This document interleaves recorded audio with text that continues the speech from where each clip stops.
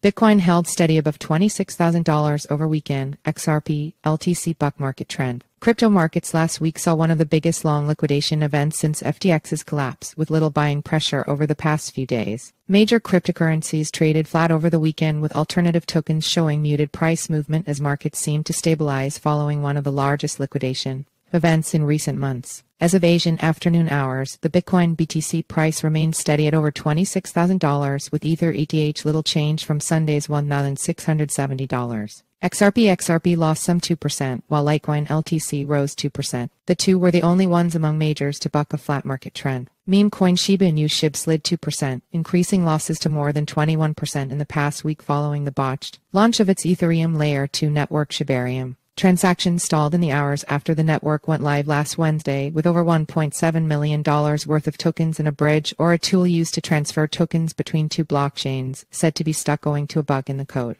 Some gainers among altcoins include Optimism OP and Rollbit coin RLB, each buoyed by increased user activity. RLB jumped 18% in the past 24 hours, extending a multi-week trend as protocol usage shows no signs of slowing. Bitcoin investors are continuing to load up on the asset because the price is considered to be discounted relative to fundamentals, according to Michael Silberberg, head of investor relations at AltTab Capital. We've been seeing increased Bitcoin futures trading lately, Silberberg said in an email to Coindesk. While there has been more open interest on the short side, there has also been accumulation in both directions as the market moved sideways in thin liquidity. This means many traders were betting on Bitcoin's price movement. Despite this drop, we still saw net inflows over the past week as long-term investors, like ourselves, saw discounted prices as an opportunity to accumulate more Bitcoin, Silberberg said.